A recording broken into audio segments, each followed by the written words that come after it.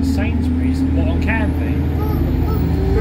Benfleet, there is there's, there's a Sainsbury's local in Benfleet High Street. This doesn't go this doesn't go Tarpots.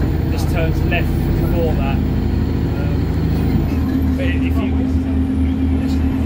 it's on the high road as you as you come off of Kent Hill, it's to the if you go right so basically, down the hill, you down the hill, there's a stop, and if you get off at the stop, it's called High Road. If you get off there and go right and walk down, there's a, there's a little Sainsbury's there. No worries.